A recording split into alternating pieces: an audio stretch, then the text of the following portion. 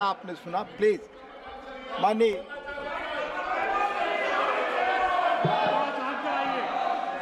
माननीय Sudhanshu ji please continue your speech सभापति महोदय, अभी इस सदन के सबसे वरिष्ठ सदस्य, वयोवृद्ध नेता, पूर्व प्रधानमंत्री आदरणीय एच डी देवगौड़ा जी ने जो विचार कहे, बड़े दुख का विषय है। कि 21 घंटे का समय आवंटित होने के बावजूद सबसे वरिष्ठ सदस्य के द्वारा यह अनुरोध करने के बावजूद जिस प्रकार का आचरण दिखाया जा रहा है इससे साफ़ समझ में आता है सभापति महोदय कि इनका उद्देश्य सवाल सवाल का जवाब और जवाब के सवाल में नहीं है इनका उद्देश्य बवाल में अधिक दिखाई पड़ रहा है। इसलिए ये अपोजिशन की इस नियत को भी स्पष्ट करता है। अब मैं विषय पे आता हूँ। जो मैं बता रहा था कि बिंदु क्रमांक पाँच पर राष्ट्रपति महोदया ने कहा कि ये देश के इतिहास में 60 साल के बाद ये पहली बार एक घटना हुई है, जब लगातार तीन बार किसी प्रधानमंत्री को स्पष्ट बहुमत प्राप्त किया हो। और जिस समय महामहिम राष्ट्रपति महोदया ने यह शब्द बोला था, हम सबको ध्यान है, सबसे अनेक विपक्षी सदस्यों ने अपनी अपनी सीट पर आवाज़ें करते हुए इसका प्रतिवाद किया था। संभवतः उनके मन में इस बात के लिए स्वीकार्यता नहीं हो पा रही थी कि यह कैसे हो गया कि लगातार तीसरी बार मोदी जी के नेतृत्व में भारत की जनता ने स्पष्ट जनादेश दिया और पंडित जवाहरलाल नेहरू जी का वो रिकॉर्ड जिसके ऊपर वो बहुत इतराते थे, उसकी बराबरी हो गई। मगर हमारे बहुत से विपक्षी सदस्य कहते हैं कि साहब, नेहरू जी की बराबरी तो मोदी जी से नहीं हो सकती। तो सभापति महोदय, मैं आपके माध्यम से कहना चाहता हूँ कि तीसरी बार मोदी जी चुन के आए हैं। और ये मैं भी मानता हूँ कि नेहरू जी और मोदी जी में बराबरी नहीं हो सकती, इसलिए तीसरी बार आने पे मैं सिर्फ़ तीन बिंदु दूँगा, जिस पर हम मानते हैं कि नेहरू जी और मोदी जी की बराबरी नहीं हो सकती। नंबर वन जब मोदी जी इस देश के प्रधानमंत्री के कैंडिडेट चुने जाने थे, सभापति महोदय, मुझे आज तक याद है 13 सितंबर 2013 शाम 6 बजे भाजपा की पार्लियामेंट्री बोर्ड की बैठक होनी थी, और मोदी जी स्वयं उसके मेंबर थे, मगर उन्होंने कहा मैं उस बैठक में नहीं आऊँगा जिसमें मेरे बारे में विचार हो रहा हो। यह होता है नैतिकता के आधार के ऊपर निर्णय। और उस समय राजनाथ सिंह जी पार्टी के अध्यक्ष थे तो मुझे यह दायित्व दिया गया था कि मैं मोदी जी को रिसीव करके अध्यक्ष के कमरे में बैठा लूँ और जब बैठक समाप्त हो जाए तो सब एक साथ जाएँगे प्रेस कॉन्फ्रेंस में घोषित करने के लिए। और महोदय, पूरा पार्लियामेंट्री बोर्ड एक मत था सारे कार्यकर्ता एक मत थे और पूरा देश एक मत था और तब प्रधानमंत्री के कैंडिडेट मोदी जी घोषित हुए। उधर पंडित जवाहरलाल नेहरू, जब कैबिनेट मिशन प्लान के तहत 26 अप्रैल 1946 को कांग्रेस का नया अध्यक्ष चुना जाना था और उसके लिए कांग्रेस वर्किंग कमेटी की बैठक होनी थी और 20 अप्रैल को मौलाना आज़ाद को गांधी गांधी जी ने लेटर लिखा कि आप अपना नामांकन वापस ले लीजिए और मैं चाहता हूँ कि नेहरू जी प्रधानमंत्री बने, परंतु इसके बावजूद उस बैठक के अंदर क्या हुआ इसका रिकॉर्ड? आचार्य कृपलानी ने अपनी किताब, Gandhi his life and thought, Maulana Azad ने अपनी किताब, India wins freedom, Rajmohan Gandhi ने अपनी किताब, सरदार पटेल, और उस समय के सबसे प्रख्यात पत्रकार दुर्गादास ने अपनी किताब, India from Curzon to Nehru and thereafter में लिखा है कि एक वोट मिला पट्टाभी रमैया को। और शायद एक या दो वोट मिले आचार्य कपलानी को। शेष सारे वोट मिले सरदार पटेल को और शून्य वोट मिले जवाहरलाल नेहरू जी को।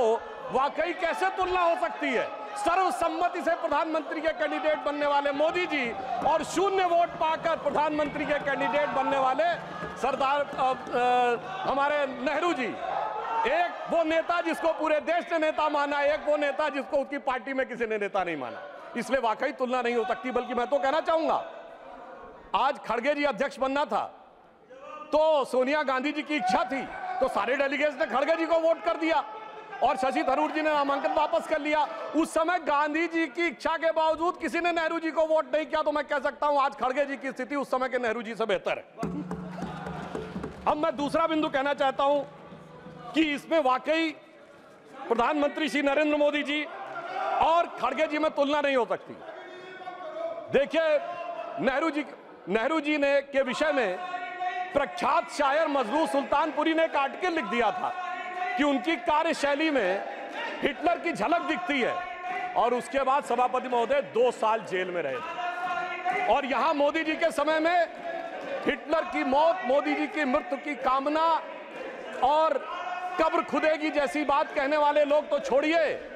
जिन्होंने बोटी बोटी की बात कही थी, वो सम्मानित सदस्य होकर अगले सदन में आ गए और इसके बावजूद किसी पे कोई कार्रवाई नहीं हो रही है। तो मैं मानता हूँ कोई तुलना नहीं है मोदी जी और नेहरू जी की। दोनों की अप्रोच में ज़मीन आसमान का अंतर है। और एक मैं बात और कहना चाहता हूँ, हमारे तीसरा बिंदु, हमारे प्रधानमंत्री श्री नरेंद्र मोदी जी को कितने देशों ने अपना सर्वोच्च नागरिक सम्मान दिया है। इसमें Bhutan France, Papua New Guinea, Fiji, रूस और मालदीव। और मेरे विरोधी विशेष रूप से सुने, इसके अतिरिक्त तमाम मुस्लिम देश Egypt Saudi Arabia, United Arab Emirates, Bahrain, Afghanistan और विशेषकर ध्यान दें फिलिस्तीन। इतने देशों ने अपना सर्वोच्च नागरिक सम्मान प्रधानमंत्री श्री नरेंद्र मोदी जी को दिया, जो भारत के इतिहास में मंत्री को नहीं मिला। और प्रधानमंत्री जी ने किसको सर्वोच्च सम्मान दिया? हमने, भारत के, हमारी सरकार ने और सरकार की बनाई समिति ने सिर्फ़ हमारे नेताओं, स्वर्गीय अटल बिहारी वाजपेयी जी और आदरणीय लाल कृष्ण अडवाणी जी को ही भारत का सर्वोच्च नागरिक सम्मान नहीं दिया। हमने कांग्रेस के भी नेताओं को सम्मान दिया। कांग्रेस के तीन बड़े नेताओं को भारत रत्न मिला। मदन मोहन मालवीय जी को हमारी सरकार में भारत रत्न मिला प्रणब मुखर्जी जी को हमारी सरकार में भारत रत्न मिला पीवी नरसिम्हा राव जी को हमारी सरकार में भारत रत्न मिला, हमारी पार्टी के नहीं थे परंतु कर्पूरी ठाकुर जी को भारत रत्न मिला और कांग्रेस के नेता एस सी जमीर और तरुण गोगोई जी को पद्म अवार्ड मिला।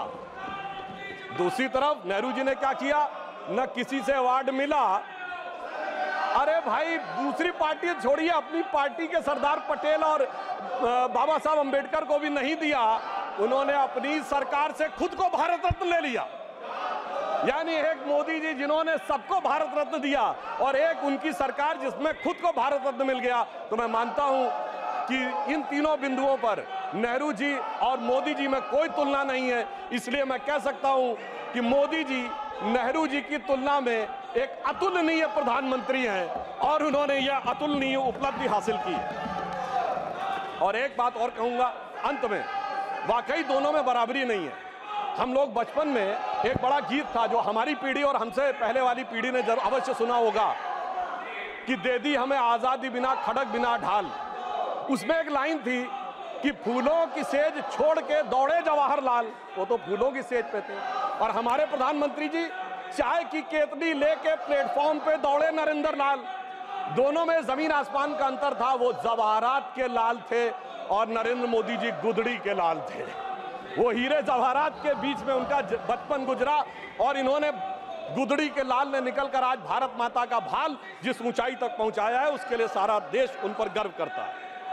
अब मैं पिछली बात को छोड़कर इस पे आता हूँ कि इस तीसरे टर्म में हमारी सरकार किस प्रकार की बातों पर विचार करने की तरफ़ ध्यान दे रही है? राष्ट्रपति महोदया ने अपने बिंदु क्रमांक पाँच में इस विषय का उल्लेख किया है।